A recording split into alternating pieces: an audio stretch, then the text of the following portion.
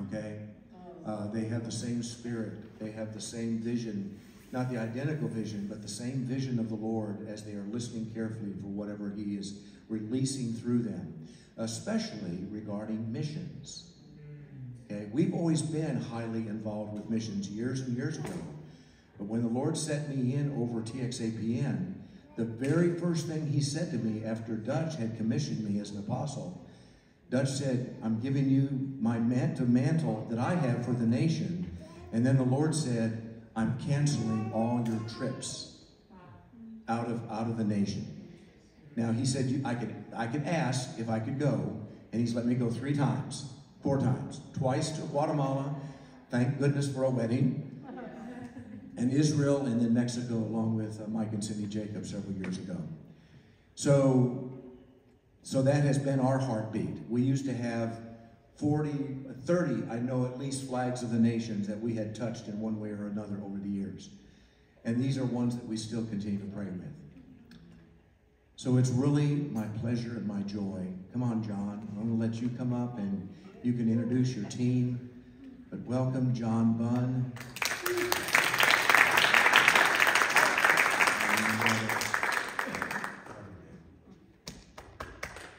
Uh, What a honor. Uh, I'm going to, like, right away bring everybody up. So, Timberly, Nick, and Becca, and Hannah, you can come on up. And um, I, we, we are so grateful. For those of you that don't know, at the Hub, um, one of the things I think that makes us, I guess, unique is a good word. Maybe peculiar. I don't know. Um, peculiar fits. Yeah, uh, yeah, yeah, peculiar fits. Yeah. Uh, is is that uh, our leadership team is completely horizontal. Um, I'm I am uh, by default the planter, but I planted it on purpose with the um, directive from the Holy Spirit to be one of five. So we have a fivefold leadership team, and Timberly has been there since day one. Um, and we currently have another who you, some of you may have met, Abraham Shaker. Uh, he and his wife Sheila, uh, they're currently over in India right now, ahead of uh, what we're about to do in Malaysia, which we'll tell you about in a minute. And then uh, we have Nick down there. Nick Jones is uh, a longtime associate of Timberly. She, he was in uh, one of her marketplace major classes at CFNI, and just so happens to also be married to my oldest daughter uh, Rebecca. And then that is her second son, there, their second son. Uh, and uh, then my daughter, Hannah. And Sarah is not here, but is going with us uh, in August. And my wife also is going with us in August. So um, basically what I want to do is, is kind of let Timberly went ahead um, on the first trip that we went on uh, that I had to cancel for the sudden passing of my brother-in-law. Um, but I want her to kind of share her adventures. They went all through India.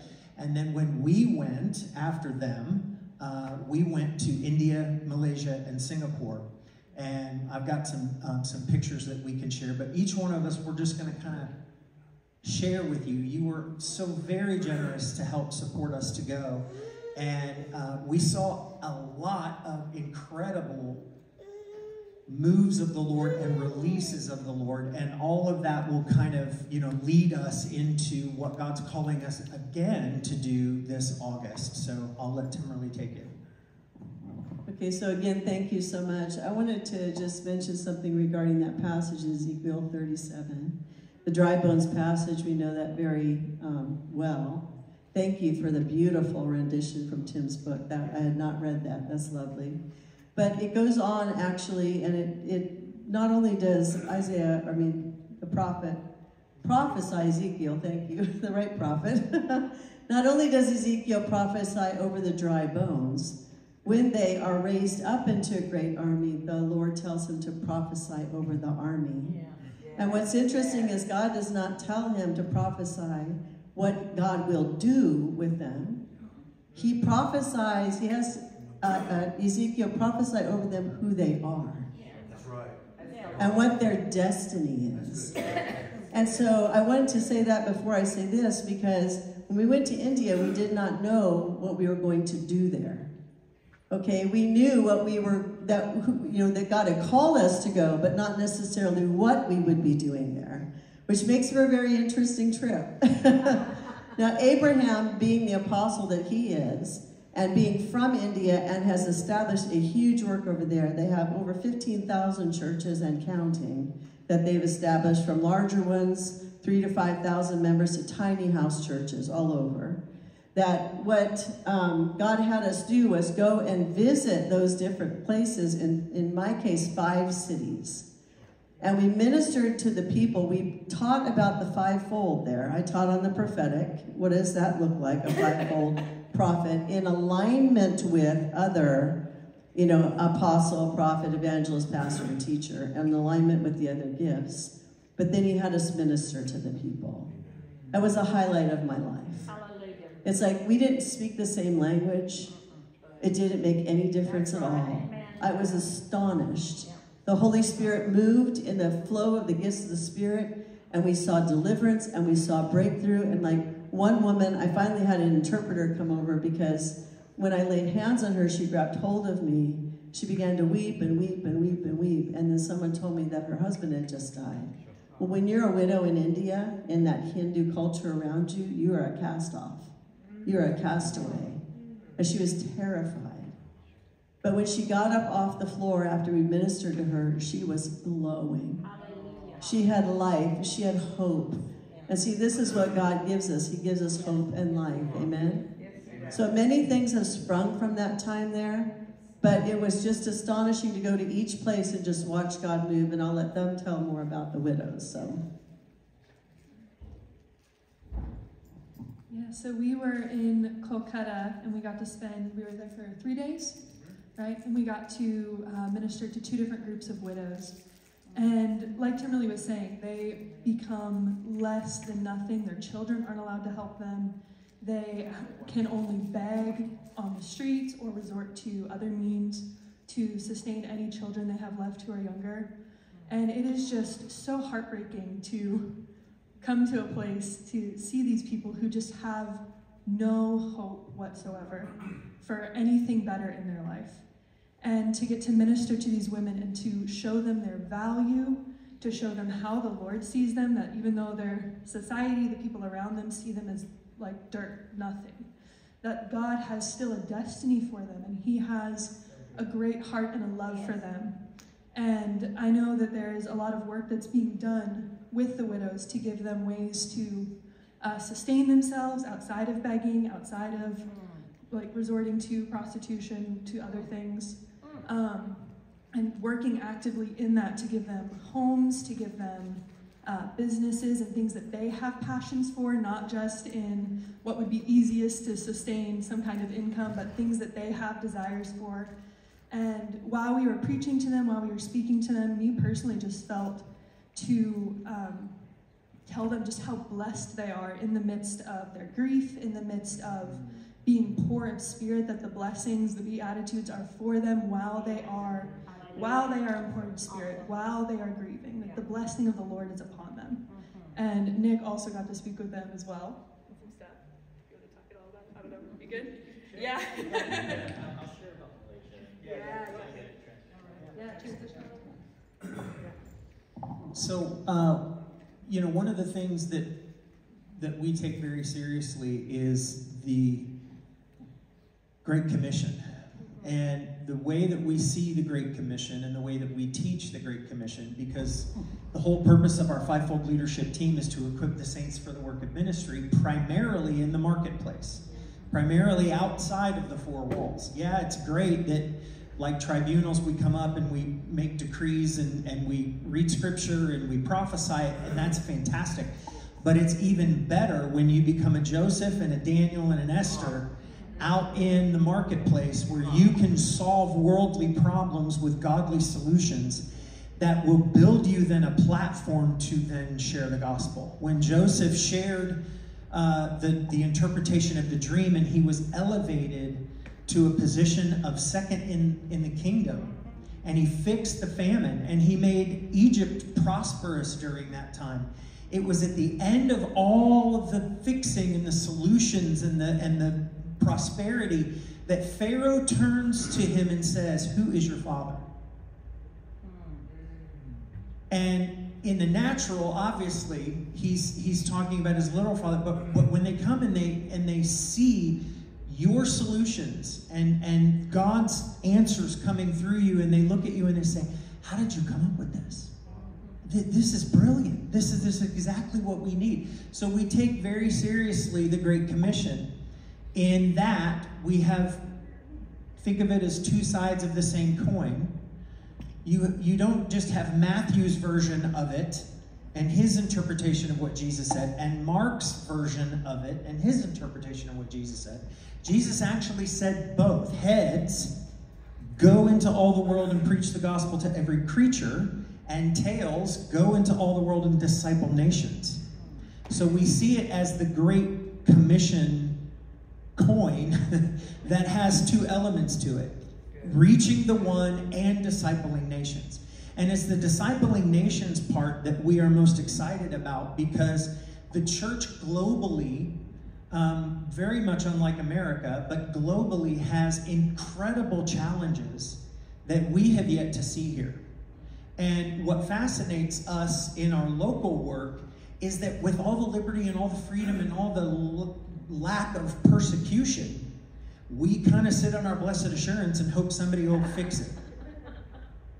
When we could, one of the most important things that, that I know for myself that I discovered in talking with the leaders is they're like, oh Lord, if we had the ability to do and say and preach and minister and release the kingdom with the liberties that you have in America, how can America be so upside down? Their countries are thriving when they're facing the death penalty. Their, their, the, the work of the gospel is exploding. 15,000 churches, if you ask Abraham, that's insane to me. That's 15,000 leaders and he's like, that is a drop in the bucket. India, con- India has as its population one quarter of the world's population. And then China. Together, they have half of the world's population. And they're, they're nonstop. I, have never met, and, and you'll see, you know, just pictures that are scrolling through um, you'll, you'll see uh, a, a, short little Indian man. That would be Abraham. Um, this is a guy who. Yeah, there he is. That's Abraham. Abraham is 74. And we had a four hour layover in Malaysia, I think, Penang. Yeah. Or Kuala Lumpur. We had a four hour layover and he's taking meetings in the airport at one in the morning, two in the morning, three in the morning. And I'm like, man, I'm, I'm over there. I'm asleep. I'm out. I, I like, I'm, I'm just, I'm leaned up against the wall. And it, but he, he, there is not one wasted opportunity with him. And so as, as he sits, uh, you know, and in a way that the Lord has, has blessed us to be able to have him, uh, to be a part of our, of our fivefold team, he truly is beyond apostolic. I know a lot of people who carry an apostolic anointing and they carry an apostolic mantle and they do very significant apostolic things. I've never walked with a modern day Paul until I met Abraham. And, and the way that he cares and nurtures the churches and, and he is if he's not there in person, he's there in Zoom. He's up at all hours of the night in America to make it convenient for the leaders in India. And he's invited us into this. And by default, those covering in prayer and supporting financially has invited you into this. And we had an opportunity to see leaders begin to recognize that for the most part, they spend all their effort and energy because they have been trained, largely in part by a Western model, that says the senior pastor has to be 100% responsible for everything. But in reality, Jesus gave the apostles, prophets, evangelists, shepherds, and teachers so that you only have to really be 20% responsible and 100% effective, rather than 100% responsible and 20% effective. And we see this in church after church after church after church. And so, one of the big things that we were able to release is just a new paradigm of how to empower people around this, the leader to be able to pick up the things that Jesus designed to be put on display. One of the key principles of that teaching that I have is that, you know, back in 2000, the Holy Spirit said, Son, do you know why? Because I was talking to him, and I, have been in ministry since 1987, and now it's 2000, and I'm like, God, if this is what it is, I'm selling shoes. I'm out. Like, this is nuts. And he said, he said, do you know, what haven't you done? uh, he said, uh, he said, do you know why 80% of the work is done by 20% of the people? And I was like, well, Lord, you know. And he said, because only 20% of me shows up in the pulpit every week. But that 20% is so energizing. And, and that, that uh, I'll use it, not a great word, but that iconic figure of me, that image, that representation of me is so energizing. Let's say it's a senior shepherd. And, and that's so energizing that all the shepherds are like, I can, I can connect to that. And I'll do 80% of whatever he asked me to or she asked me to do. And now he said, What if all five of me was put on display? What if all five parts of me? Because he broke himself into those five uh, portions and gifts. And he said, What if all five was put on display? And all the people that connect with those also are willing to be energized at that level. He said, It's not 100%, it's 400%. Because each 20 is willing to do 80. And so we're, we're trying to help communicate those kinds of paradigm shifts and, and uh, opportunities for 250 pastors, and I'll let Nick talk about this in a minute, um, for 250 pastors who are not just 250 random leaders. These, these are pretty much handpicked by Abraham to be regional leaders, some with a few churches, some with many, many, many churches. But the goal is, is to have this kind of um, ministry happen and, and teaching happen so that they will take this back. And who knows what that harvest will be. And who cares if they ever hear about us or hear about the hub or hear about the fivefold? I, there's, there's no labels. No one is there as apostle so and so or prophet so and so. It's just Abraham, Jon, Timberly, Nick, like everybody that's coming we're, we're trying to say it's time. It's time to pick up the function but lay down the title. It's time to not be called one without doing what that title represents. And so, uh, what we were also able to do in there was, was see incredible miracles. I just want to share really quick um, one in particular, and, and a, a very powerful lesson that the Lord told me. Um, we were in, I don't remember where, uh, the blind lady. We were in Calcutta then? Yeah, okay. Uh, we were in Calcutta, and this woman came up, and she had been completely blind in one eye and had lost uh, about 80, 85% in her other eye. And this eye was like totally just white. And she couldn't see out of it at all, never had been able to see out of it. And we prayed, and then we prayed some more, and then we prayed some more, and then we prayed some more, and then we prayed some more. And then this eye totally cleared up. This one eye. And then we prayed some more, and then we prayed some more, and then we prayed some more because we had committed as a team that we were not going to let go until God manifested. No matter how long it took. If God put somebody in front of us and they had a need, we were praying through. We weren't just going to pray five or six times and say, well, okay, just go home and the Lord will finish the work. You know, He does that and that's fine. And sometimes you have to do that. But we committed on this trip. There's a reason why we're there and they're there and we're going to see this through to breakthrough. And I was getting a little frustrated with the Lord as to how long it was going to take because now we're almost 15, 20 minutes into praying for this person, and which is not at all the American model. It's okay, okay, you know, whatever. But we're praying for breakthrough, and all of a sudden I begin to see like this little swirling happening in the eye that's totally white. And, and I got to tell you, a lot of people would have stopped there. And they would be like, okay, God's doing something. This is great. But when you push against a mountain, mm-hmm.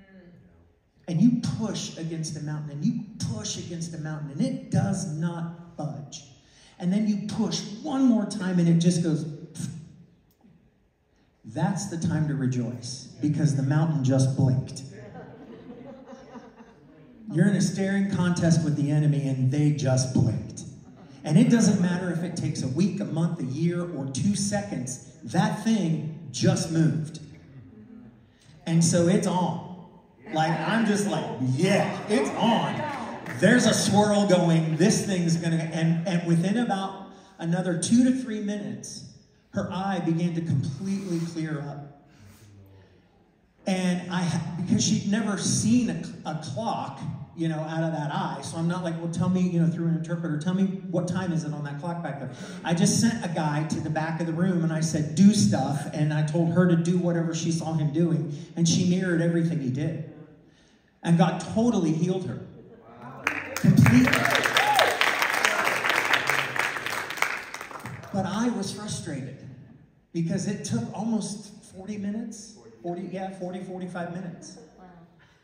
And I'm like, Lord, if you cast out demons with your finger, what is that? What is the holdup? Where was the bottleneck? And he said, Do you want to know? And I'm like, Well, I asked, but probably not. I said, What's the holdup? And he said, Son, you're the holdup. And I went, Whoa, we had fasted, we had prayed, we had seen multiple other miracles. What do you mean I'm the holdup? And he said, You're laying hands on someone expecting me to flow through you. You're my ambassador. Lay my hands That's right. Yes. on them. Yes. Speak my words to them. Don't ask me to flow through you. Stand there as me.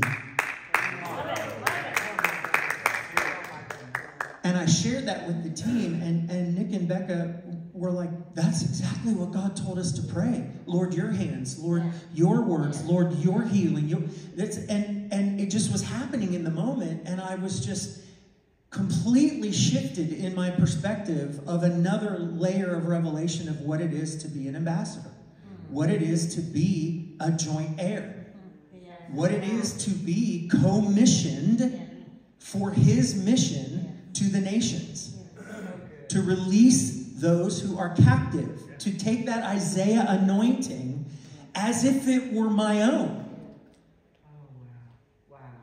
And then breakthrough started coming left and right. Wow. I mean, every every time we we prayed for hundreds of people over the next several days, and we just I mean, breakthrough was coming all across every everywhere we went. We were able to energize in um, Chennai. Uh, we were able was it Chennai? Was that our last city? Yeah, in India. Uh, in Chennai, we were able to mobilize an entire group of teenagers who were just sitting there soaking it all up. And I was like, hey, this isn't for me to release. This is for you to release. And they went into the congregation and they started laying hands, and people started getting healed, and they were like ecstatic. They were all giddy, like, oh, this works. This is really cool. You know? So, anyways, anyways, uh, there's one picture that you'll see in the rotation of a sun in a in a very cloudy day. Looks like a moon. It's the sun. When we were in Mumbai, the or Delhi, sorry, Delhi, Delhi, Delhi. When we were in Delhi, the um, the pollution was so thick that on a bright, sunny, cloudless sky, that's what it looked like. And uh, that's Malaysia, and that's the bridge going into Penang, where we're going back in uh, August. And, yep, there it is. That's the sun, full on, like nothing but pollution obstructing it, and that's about how bright it was outside. Um, but uh, one of the things that that bridge of, of going over to Malaysia, what we discovered, and when we go back, um, one of the things that, that we're realizing is all of these Hindu temples that are being erected all over the place, and every bridge and every governmental project because the nation is Hindu. And the poverty that we saw was beyond, beyond anything that you could even remotely comprehend here in America. And take the worst part that you've ever seen in your entire life and multiply it by about a hundred.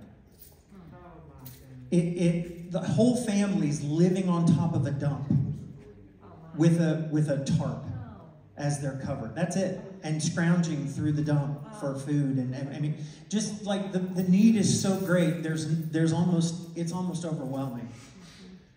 Which is why we, it's important to partner with local ministries who are, who are dealing with those things and taking care of them. Because, I mean, five year olds walking out into traffic to beg and and I'm freaking out in the car. Abraham's like, no, this is they do this all the time. Like the people are watching them, and you're looking at them, and you're just. I'm like, please, someone, can I go grab that kid and adopt it and take it home because it's, you know, filthy and in diapers and running out into the street to beg for money in rush hour traffic, which is always rush hour traffic in India. But um, so so this this whole thing that we were coming up against, Nick made a, a, comment about this is what a nation looks like when their hearts are yielded to pagan rulers and to powers and principalities over the region. Um, I brought up the bridges because there is no government project that is set up and no temple that is set up without human sacrifices buried in the pylons that hold up the bridge. And blood sacrifice and multiple uh, children sacrifice in the foundation of the temples that they erect. And it is like Old Testament stuff. And I'm, I'm just looking at this, I'm like, oh, this, this is the same spirits we're fighting in America. We just do it in a doctor's office. We do it in a sterile environment. But it's the exact same thing. And, and so, you know, entering into these places, the remnant that is still here in America is the only thing holding back this. And we have to take full advantage of our liberties and our freedoms while we still have them to still be the beacon to the nations, to still fulfill the 1607 prophecy of being a light to every nation. We still have the opportunity and not to get too caught up. Yes, elections are important. Yes, prayer for the right candidate and God's man to be put in is important. Yes, it's important for us to make decrees, but it's also important for us to make disciples. Yes. Amen. Okay, so moving to Penang, I want to tell you the prophetic word and the prophetic thing that happened, and then I'm going to give it to Nick. So, Abraham was flying into Penang from somewhere in the world. And as he flew in, he saw a bank with a key on the top of it, a great big giant key. And so he thought it was Key Bank. You may know Key Bank International. Didn't think a thing of it. Then when he got where he was going to, uh, he had mentioned it to a gentleman that, that was leading the meetings and said, There's no Key Bank. And then he prophesied and he said, but Penang is the key to um, Malaysia, and Malaysia is the key to Asia. And Abraham knew that we needed to go there, and we needed to gather the Asian nations. So I believe currently we have about 21 nations represented. Is that right? Yeah, so we have a, a many Asian nations that are coming. It isn't just Malaysians that we're going to. But I wanted you to know why we were going. That was the word given. So I'm the storyteller now. So it's a little, you know, everything with the Lord is a story. So we're gonna kind of have to do one of these numbers. And you go back here and you come back. All right, so, all right, 2023 is when this happened. Abraham, the Lord told him to go to a conference in Malaysia, had never been there before. He's on his way to the conference, sees a vision of this key. Obviously, it wasn't actually there, there's no key bank. He sees an open vision of the key. He's like, God, what is that? Gets the word that Penang is a key to missions throughout all Malaysia. Malay- Malaysia will be a key to missions throughout all of Asia. Oh, that's the key. So when we take our trip, this is January 2024 now, um, we go back to Malaysia. Abraham had never really gone to Malaysia outside of that one trip. We just show up, there's a few connections, and we have a powerful time. Um, there's a picture where we preach in this very small church. It's about the size of this room. This was, and it's like 130 degrees in there. It's super hot, no AC. And, and we were pouring sweat, powerful time. And um, so, but we're there to build relationships, and we meet a wonderful woman named Rita. Rita's been a huge help planning this conference. So, uh, as Jon mentioned, when uh, the Lord brought us through uh, India, Malaysia, and Singapore, um, taught on the fivefold, taught about you know what we would call biblical church governance, healthy church leadership, the gifts of the Holy Spirit. We pray for the baptism of the Holy Spirit. Saw dozens of like the Lord touched dozens of people, filled them with the Spirit for the first time afterwards, meeting with all these leaders, they all had the same response, which was, This is exactly what we've been praying for. Would you please come back and help us with this? And so, coming back to America, we were in prayer, and uh, Abraham's heart was to have a central gathering in India for these leaders in the network and any other nations that wanted to come to get trained and equipped, encounter the Lord, have world class people, a real uh, international pastors gathering. Um, India is very dangerous for to have that caliber of leaders, that many people in one area. So we started praying. What else should we do? Well, what was the word? Malaysia would be key in all the nations of Asia. So let's do it in Malaysia. And we looked at KL, we which is their capital city, so their Washington D.C. and all these other places. And what was the word? Penang. So let's do it in Penang. And so we got our faith together as a team. We were originally looking at 150 leaders, 100 from India, 50 from other nations of the world. Um, and we had this church. I don't know how many this seats, but um, you know, it would seat like 225. So we got our faith, we needed a budget, and we just started praying and asking God. We made a little flyer, put it out there, and it has exploded. We're at 275 people right now from close to 22 to 25 nations. We have leaders coming from Saudi Arabia, Pakistan, Bangladesh, Nepal, Indonesia. We have 25 key leaders coming from Malaysia. We have five, six leaders coming from Singapore, from Israel. Um, God, in and that that is what it's like to walk by faith.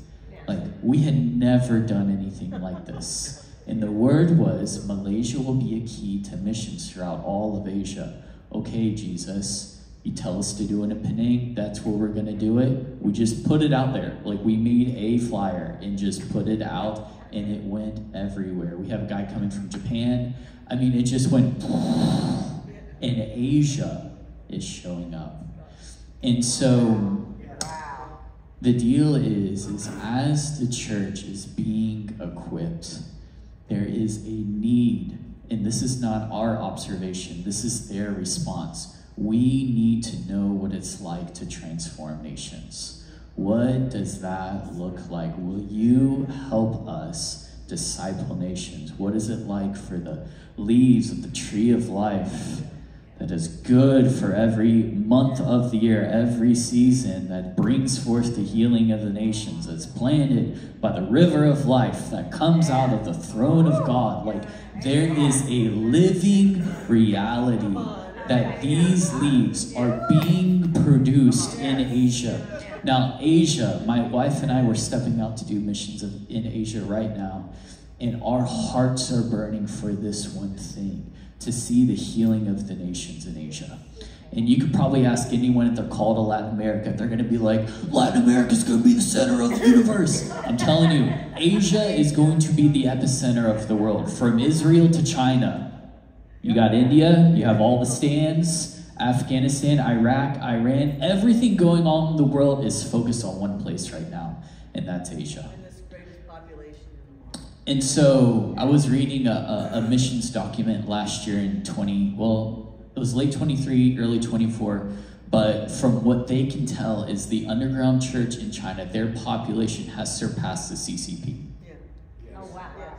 Guys, like, just like, and let me say, like, Because they're having kids in China limited their population, so now uh, India has a greater population. So, what is going on in Asia? And you see God moving at an astronomical rate. We have we worked with an organization that was part of the under, underground church in Iraq and Iran. They're seeing close to 40 to 70,000 people a week get saved. God is moving in Asia in these countries that have been ruled by demonic principalities. That is not his will for the nations. And so we see the gospel going forth. And like we read in Isaiah 2, it says the nations would come to the great mountain of the Lord to learn of his ways, and the people would rejoice. And so we're seeing the people encountering God and gospel moving throughout the nation, and the nations are going to start rejoicing. And we have a promise in Psalm 2 that the nations are his inheritance. And it goes past, like we're talking about the widows, it goes farther than people just getting saved. The nation needs healing because these widows are believers and their souls are secure, but they can't work because the society says, because they've submitted themselves to this demonic thing, if you are a widow, you are less than untouchable.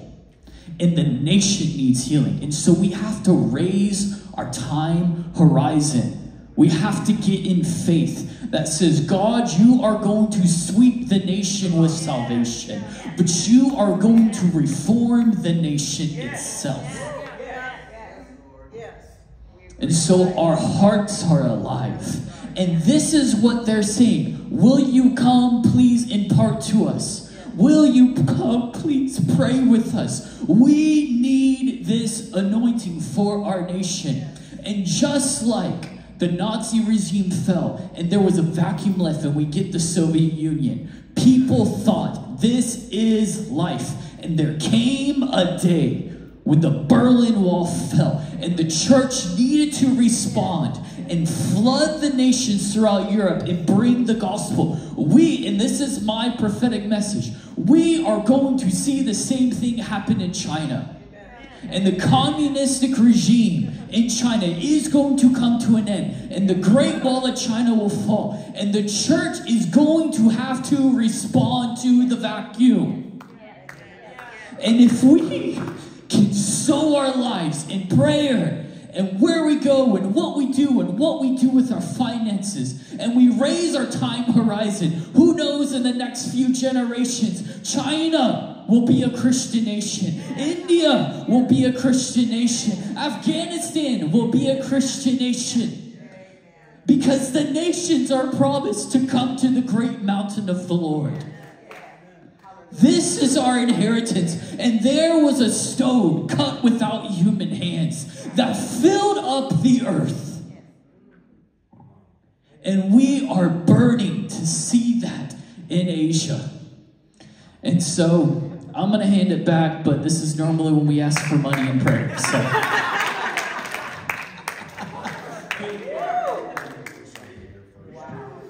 There are at least three prophetic pictures that the Lord has confirmed for me today as you all were talking, especially Nick. First off, I don't know how many years ago it was. I want to say probably 25 years ago, I was standing or kneeling at this railing on this side of the altar. And I looked up and I saw the trunk of a massive tree. And I looked up and it was just covered with these leaves. And I said, Lord, what is this? It's the leaves of healing. And I knew that that was a promise that healing was going to be released as a ministry of this house, but I also knew because we were going to nations at that time that he was going to, even though I'm not going to nations, that doesn't mean we don't support going to nations. You just you have to follow. We were talking about that earlier. You got to go where the Lord tells you to go, and don't go right or left. You go where He tells you to go, and be obedient to that. So I wanted to remind you that that's the heartbeat of what I know this congregation is all about is to support y'all. So y'all need to get ready. And we're going to do this over the next several weeks. But we're going to sow into this. Okay? We're going to sow into it. Because this is extremely important for the carrying out of the nations and the, the mandate of discipleship. Secondly, I've got another one at the house, so I'm not going to give up my only one. But you need to carry this with you because it's a piece of the Berlin Wall. And you hold on to that and say, as it happened in Berlin, it will happen in China. Come on. It will happen in China. It's going to happen. The other thing here, as you know, my, I think all of you know this, my name means keeper of the keys, so I, I'm a key guy. But um, one of our friends who's on the council, uh, Peggy Connect, she worked for Wycliffe and she had been in India. And when she came home, it was right after that that she had fallen in her house and had one leg pinned underneath her and eventually lost both legs because of that, because nobody checked on her for about four days. They were wondering where she was. And she's doing great now. She rolls on in, rolls on out, and watch her throw an axe. She nailed it every single time. Impressive is right. Put us to shame. But she said, I've got a gift for you. And I'm going to hold on to this gift because it's, I know it's my prophetic part of what needs to happen here. But she brought me this key. Oh, and the key was for an ancient gate in India where St. Thomas first entered into the nation. And I thought, man, I got to get Jon and his team here because we need to unlock this even further. Because there, there is something that needs to be unlocked. And then we were in uh, Mount Carmel, Illinois, for our last tribunal meeting. And while we were there, they, one of the members of the team up there was selling some things. And I saw these and I thought, man, I would like that. I just, I like chains and keys and all sorts of stuff because it reminds me of my, what we're all about. Okay? It's handcrafted in India. Five links. And I said, Lord, I'm, gonna, I'm supposed to give this to Jon and to the team. But I thought, are we going to unlock this or what? And he says, No, I want you to know that is my commitment to you. You are locked in. You are locked in to India, to Malaysia, and to Asia because of what the Lord has planted on you. So, Lord, we just release the full mantle anointing of the fivefold, of the vision, of the strength. The wall will come down, the nations will be healed. Becky, just come up real quick and just, I want all of you to hold on to that for just a moment. And that little feller, too. So, Lord, we just, we just say we are unlocking India, but we are saying, Lord, you have locked this team to your heart for the nations, for India, Malaysia, and beyond. In Jesus' name. Amen. Amen. So it's a gift giving day because the minute that I received this gift, hang on.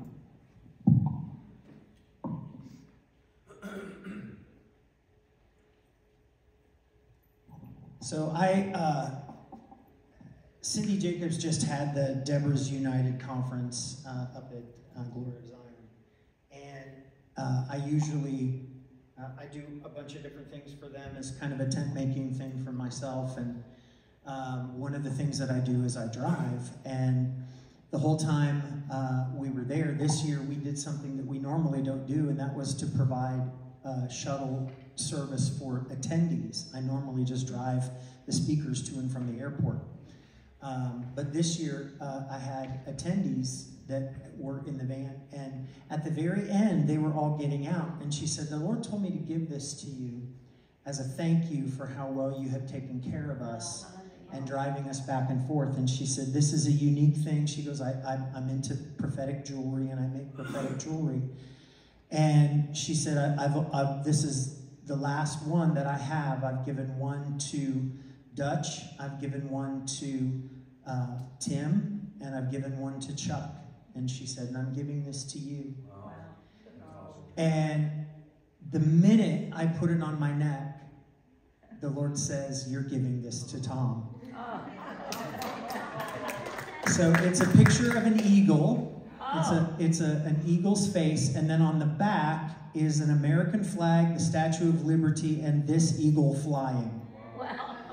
And when I got it, and I said, Lord, I'm, he said, You're giving that to Tom. And I said, Okay, what, what am I supposed to say? And he said that he's in a company of eagles. And what God has called him to do with Chuck and Dutch and and I mean just just how prophetic that Chuck has one and he just did the, the tribunal teaching at Glory of Zion mm-hmm. and Dutch has one and he's running hard with Dutch and Tim has one and he's running hard with Tim. The Lord is is taking what you're doing and increasing it to be within the company of this eagles. Because what you carry in the release of decrees is some of the very things that we're going to be releasing over Asia. One of the major, major parts of this summit is teaching them how. You may not be able to have access inside the parliament, but you can speak. And you can decree. And you can see a shift come over your nation just by standing in the place of the ecclesia. And, and that message, that tribunal message, you can do it through worship, you can do it through decrees, you can walk your streets, you can stand there and under your breath, because words have power. You don't have to do anything to get yourself noticed and arrested and persecuted. But if that comes, so be it, because our King is greater. But to walk without fear, to see from an eagle's perspective, to see from our seated with him in heavenly places perspective, not to decree what we want to see, but to decree what he has decreed, it will come to pass. So, Tom, I want to give this to you. And I don't know if you're a necklace guy or a jewelry guy. You may just want to, okay, all right, then, here we go. So, oh my goodness. Jesus, Love you, Jesus. Jesus. Fly with the eagles. And Yes, this, yes, yes. not only is this going to speak into your season, Yeah. but you're gonna, this is what you're gonna hand off to the next generation. And whoever is to carry the mantle of TXAPN, Arriba. this is their key.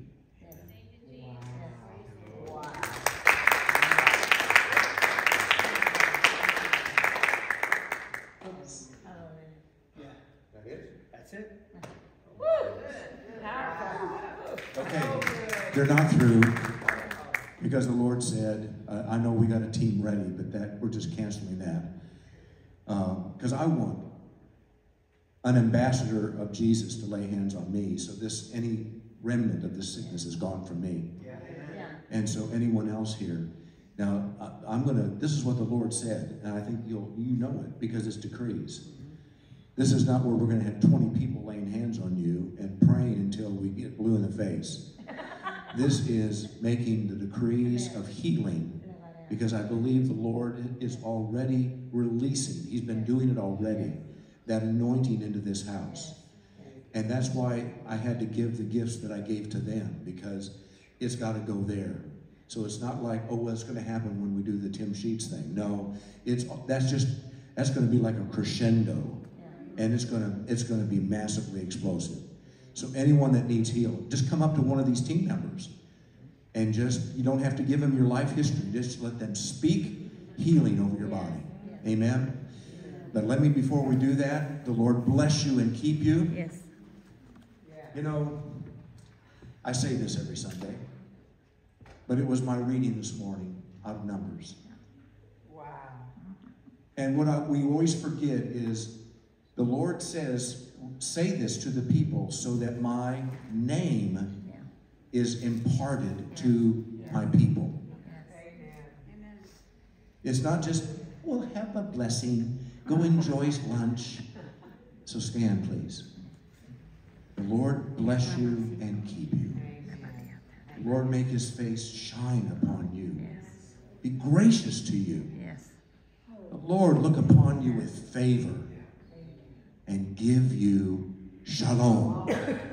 In Jesus' name, amen. Amen.